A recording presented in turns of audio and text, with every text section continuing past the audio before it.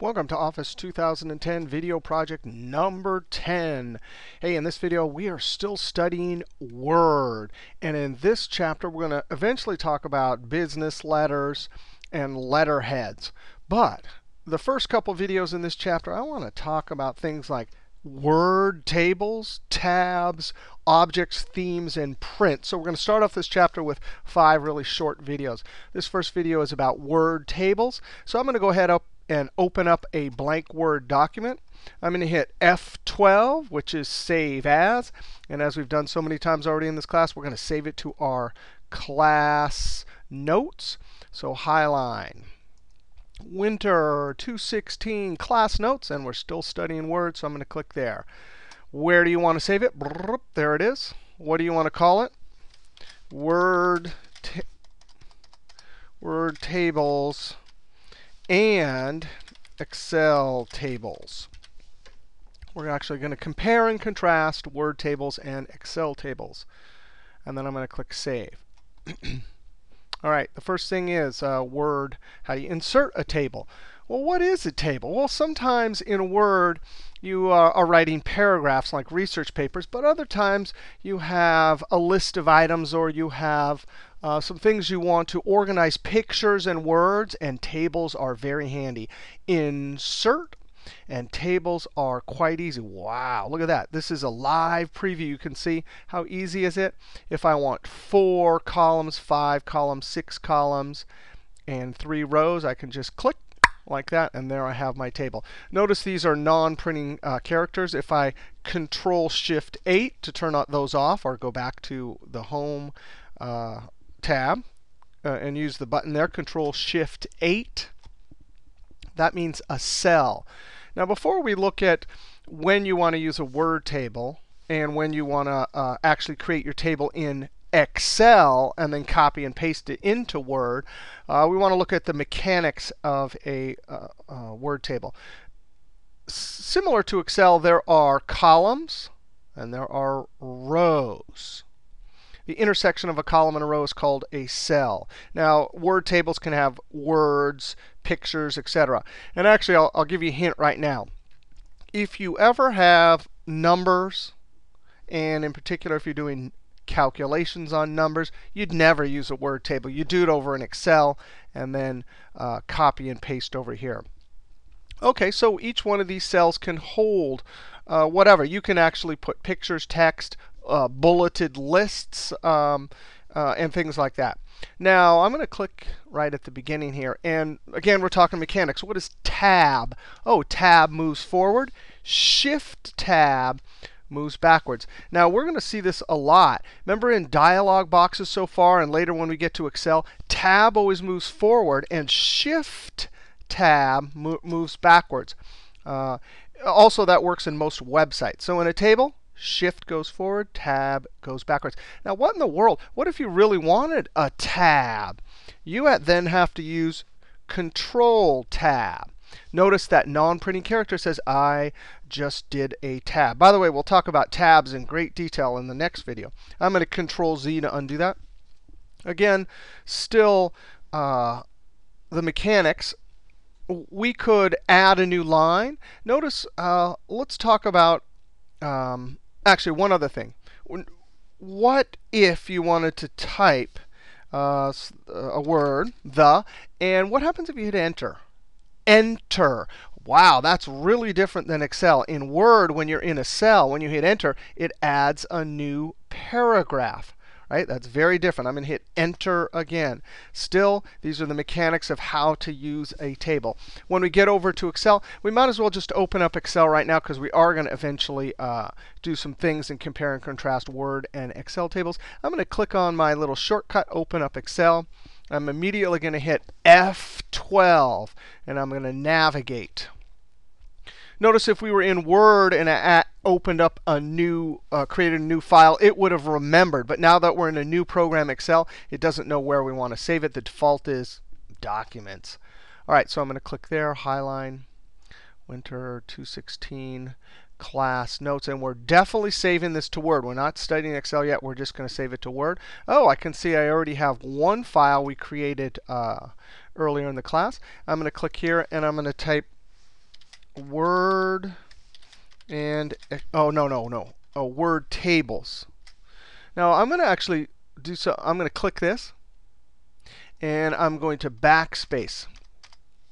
Now, am I allowed to save a file with the same name in the same folder? Because we already created a .docx. I'm going to hit Tab here. Yes, and the reason why is because this is a different extension. We're going to have two files named the, the same thing, but one's an Excel file and one is a Word file. I'm going to click Save. Let's just compare and contrast. I'm going to type the word the, enter. Okay, so it goes down to the next row in Excel, whereas in a Word table it adds a new line. I'm going to Control Z to undo that. Now let's talk about the different cursors. Uh, this cursor right here means, hey, I'm going to highlight the whole column. This white cursor, just as we saw in the selection bar to highlight a whole paragraph, if you're in a Word table, uh, you have a Word table right there. You click that and it highlights the whole row. Um, now, what about highlighting the cell? And again, sometimes it's tricky. You can see I have that my uh, selection cursor. Bring it really close, and that cursor right there, that diagonally pointing one, that highlights just the cell. And sometimes you want to do that because you want to align or add some fill or do some formatting, add bold. Right? Here's still another cursor right there. That cursor is the change the column width cursor. Wow, check that out. Here, and we can come down here and see this cursor right here. This is change the row height. By the way, that is really hard to do in Excel. One advantage, again, the reason you use word tables uh, is when you have words and text. The other great reason is if you have unusual um, configurations of cells, just like that. Um, that's uh, extremely hard to do over in Excel sometimes. Merging cells is easy, but getting weird sh shaped cells that don't match up because it means this column is a different width as, uh, than that one. So if you have a situation like that, you're organizing some data or uh, you have a list of items, uh, Word tables really beat Excel in that regard. All right, uh, a couple other uh, things. This right here means you can move the table. You can click. It actually highlights the whole table, but you can click and move. I'm going to Control Z. Still, another couple things were uh, mechanic-wise. If you want to insert a column, you would highlight it and then right-click. Right-click. I right clicked up here, right click the thing. I have the uh, column selected, right click, and sure enough it says insert. And I'm going to say, wow, this is cool. I can insert a column to the left or the right. I could also, actually for that matter, right, you don't have to highlight the whole thing. You can right click, insert, and boom, there's all sorts of options. Wow, rows, cells, or uh, columns. So quite convenient. Let's go ahead and insert a column. So now I have an extra column. And that's very handy because sometimes the original plan uh, changes and then you need an extra column here. Uh, a couple more things for just mechanics. Let's highlight these two cells. And now I want to right click and there's a merge. Uh, right click, let's highlight these four right click and merge. Again, you start getting into uh, unusual patterns of cell construction. That's just really hard to do in Excel. Um, now, one last thing, mechanics-wise, what about split? I love this. We can right-click and split. And then it asks you how many columns. I'm going to say two. Remember, that's the uh, cell we just did right there. Click OK. Ah, oh, that is so cool. There's no right-click split in Excel. You actually have to do really bizarre things. You have to merge and then uh, not split above. All right, uh, now let's try something. We got this unusual table here. I'm going to uh, click right here and uh, actually I'm going to click right here and hit enter. I want to insert another table. Insert table, just uh, like 4 by 4. And then I'm going to type Jan tab, Feb tab. M-A-R. April. I hope I got my months wrong. Uh, right, I think January, February, March, April. Okay, Whew, I got them correct there. Now, and then you could uh, come down here and you know have a schedule. And I want to type some things here. Uh, get done. I'm just going to type some things. I copy that. I'm going to Control V, Tab, Control V, Tab, Control V. Now watch this. When you get to the end of the table and you hit Tab, what happens? Oh, that is so convenient. And then I can continue on my way. Tab. So that's also a very convenient aspect of uh, Word tables. Now I want to go over to uh, Excel and I want to make a little table, January, February, and March. And I just want to show you in cases where you have numbers and calculations, it's obvious we should use Excel and copy and paste. But there's other situations when you have uh, patterns like January, February, March, or Monday, Tuesday, Wednesday, or quiz 1, quiz 2, quiz 3. It might be easier to do it over in Excel. So what we're going to do now is I'm going to save this. And um, we're going to go over to Excel. I'm going to do Alt Tab, and I'm holding Alt down, and now I'm hitting Tab when I see the blue box around the program I want. I let go. I'm going to, excuse me. I'm going to click in A1 and type J-A-N. I'm going to type uh, use the keyboard shortcut Control Enter. Control Enter just puts the thing in the cell and keeps the cell highlighted. And because I immediately want to do something to the cell here, I, I chose that instead of hitting Enter. Now I'm going to zoom in. I'm going to hold my Control key and roll the uh, wheel on my mouse. And now right here in the corner, that little black box is called the fill handle. This is called the selection cursor. But when you move your selection cursor towards the fill handle, boop, it turns into a little crosshair. By the way, that cursor is not it. That is the move cursor. We've already seen that in Word. If I click on that and drag, it moves it. Control Z. But what I want is this one. It's a little crosshair. Now, Bill Gates called it a uh, crosshair. I like to call it an angry rabbit. Right? So when you see your angry rabbit, you click, which means left click, on the fill handle. Fill handle, Angry Rabbit, click and drag. It is programmed to uh, notice patterns. Uh, like uh, January, February, March, Monday, Tuesday, Wednesday. It will increment dates and, and all sorts of amazing things. And we'll study that over in Excel. Now I want to use my selection cursor and click in A1 and simply drag. I drag down here. I let go to row 5. Now I want to come up to here to borders and select all borders. Uh, and then I'm going to come up here and highlight this, and I'm going to add some formatting. That's the fill. That's the bucket. We pour the paint into the cell. I'm going to go up to the font. The letter A tells me this is going to format the letters. And click there. Now I'm going to just leave it just like this. Uh, we haven't really started to study Excel yet. All I want to show you is an old great trick. Imagine you had created this beautiful table over here, or it was a table filled with budget numbers and there was calculations.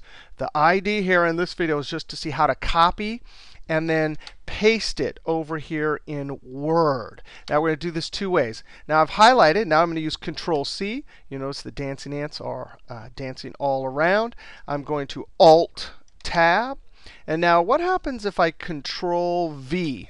Control V. Now that looks just like a word table, and you can tell those non-printing characters. But I got to show you a, just an amazing trick. Sometimes you have a table and you want uh, over in Excel, um, and you want to literally import it as a table, you just Control V. But what if you didn't? What if you not only wanted it to look uh, Alt Tab, you want it to look just like this? But you also want it to automatically update. So as I add uh, things here, it would automatically update in Word. Boy, wouldn't that be cool? So now I still have the dancing ant, so it means it's still copied. I'm going to go up to Paste Special, and this works in 2010. Right here, these great new icons. Look at this one. It says link and use destination style. I don't want that one. Linked and keep source formatting. I'm going to click on that. And now I have this. Um, actually, uh, let's go test it. Let's go back over here. I'm going to um, type stuff, Control Enter, and then copy it over. Notice when I do that, using my uh, again my Angry Rabbit and fill handle, there's no it doesn't know what to do with stuff, so it just copies it. Whereas here, it thought it interpreted that you wanted to increment the months. Now I'm going to Alt Tab and go over here. Look at that stuff. It's linked. And one way you can tell is if you right click this linked object, you can see it says Update Link. Now I want to do one other type of uh, link. I want to highlight this, Control C, Alt Tab, and right here I want to go up to Paste Special. And now I want to, I don't see, there's, I'm looking for linked and paste a picture. I don't see it, so no problem. I'm going to go to Paste Special. And this is the way it would look like in earlier versions. All right, now here's the trick. Paste a link. Don't forget that and then uh, paste uh, Microsoft Excel worksheet object. That'll bring it over as uh, looking just like it did in Excel. So boop, boop, and then I'm going to click OK. So now it looks just like a, a picture in essence. Now I'm going to come over here. I'm going to change the color. Alt Tab to jump over here. Maybe change it to yellow. Ew, yuck. That's needs some black. Alt Tab, and sure enough, it is now linked. Those tables are linked. And again, this is just a kind of silly how-to video. You would use this uh, like when you have a budget over in Excel and it's updating regularly and you have a letter about the budget. Or guess what? This also works in PowerPoint.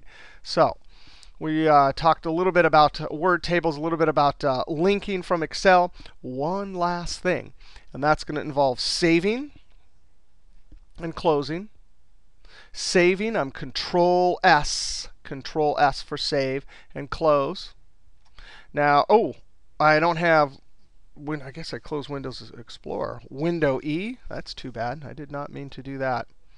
I'm going to navigate all the way back to Word.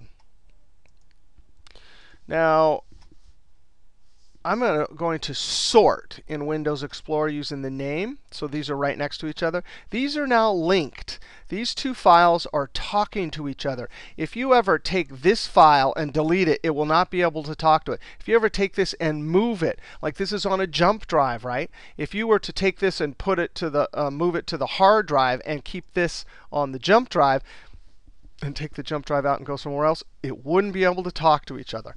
All right, I want to see uh, what happens when we open this, because links are handy when you have two files that need to talk to each other. I'm going to double click and open this. Um, isn't that just great? Microsoft programs these. Uh, Excel has stopped working. I'm going to say close the program. OK, you see this uh, message. It says the document contains a link that may refer to other files. Do you want to update? Um, I'm going to go ahead and you get to choose. I'm going to say yes because that's why I linked them in the first place. And so now they're updated. If you ever have trouble or, or want to see the list of linked items in a Word file, you go up to File. This is the backstage view. And then over here, we have related documents, edit links to files. And so I'm going to click on that. And there it is. We have two of them. It tells us the source file and the, the location. You could update now. The uh, key is if you change the location and they're not talking anymore. Well, first off, you could break the link. Sometimes you're done. You don't want it. You don't want to be bothered with that anymore, so you could break the link. But change source. All you would do is take this and navigate to where the new Excel file is located. Double click it and uh, that's how you'd reconnect them. I'm going to close that. I'm going to close this. I'm going to um, escape to get out of that. Again, the, the deadly move for this new backstage view in 2010 is if you click this, oh, they didn't plan that out very well. It actually tries to close the whole document. I'm going to say cancel. So again, how do you get out of this? You can use the exit or click escape. Just don't click that one right there. All right. Um, anything else about uh, tables? Control S. Um, that's it for this video. That was just the how to. Later, we'll use a table in our business later and do some typing and uh, things like that. All right. See you next video.